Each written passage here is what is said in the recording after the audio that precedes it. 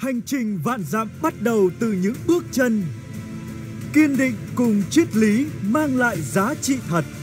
Dấn thân vào khó khăn để chui rèn bản lĩnh. Không ngừng tiến về phía trước. Kiến tạo tương lai bền vững từ hôm nay.